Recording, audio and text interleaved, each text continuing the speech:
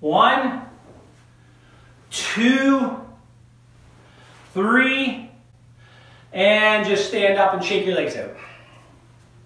Okay, very good.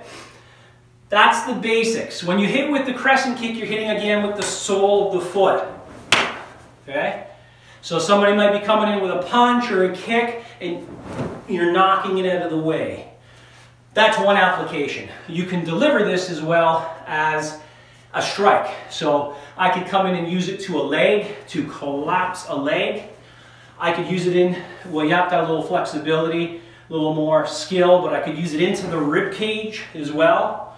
And then there's the reverse crescent, which I'm not even going to get into right now, but that is used similarly, opposite part of the foot, and that too can be used to knock away or to come into the body.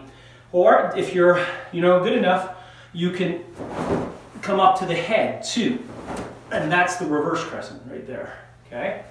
Let's forget about that for now. We don't need to know that.